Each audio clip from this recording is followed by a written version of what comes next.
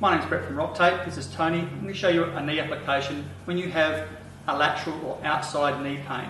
This can be used for soft tissue injuries, ITB, or even a cartilage pain that's caused by uh, some sort of inflammation or injury process going on. So when we apply this type of application, we always have the patient in a flex position, so their knee is in a flex position. The injury site is usually in through this area through here. And what we want to do is basically mark X marks the spot with a tape. I start above, directly in line with the patella, and the first, the tape is always rounded, the first bit of tape is placed on without any stretch, about three centimetres worth, and the tape is placed on an angle so it's going down towards the ankle. We then apply the tape with about a 30% stretch down the outside of the knee and straight down towards the ankle.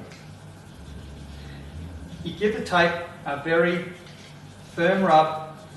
The glue's heat activated, so that'll allow the tape to stick to the skin a lot, lot better.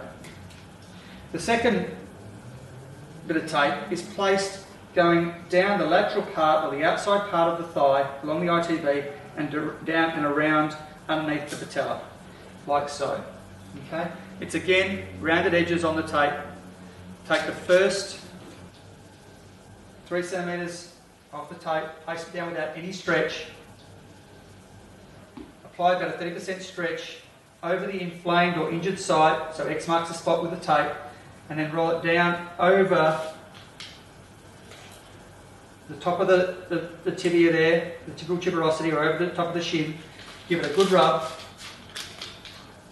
and that will just assist with any pain or inflammation that's going on with that lateral part of the knee more altruistic, more altruistic.